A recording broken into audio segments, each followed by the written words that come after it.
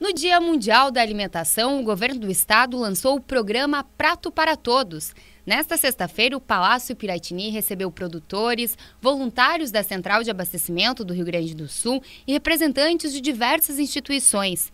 O programa oferecerá alimento e educação nutricional para cerca de 30 mil pessoas. Esse programa ele recolhe toneladas de alimento por mês.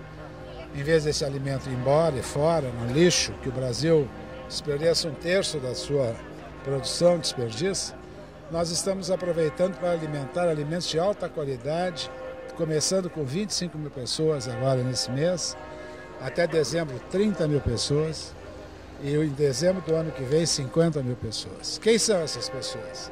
São as entidades sociais de Porto Alegre, algumas da grande Porto Alegre, que têm crianças e principalmente esse é o nosso alvo, crianças e idosos. Os produtos serão classificados e armazenados para depois compor em kits que serão doados para creches, asilos e instituições filantrópicas. Após o término da cerimônia, o governador fez a entrega das chaves deste ônibus escola, que tem cozinha e 24 lugares.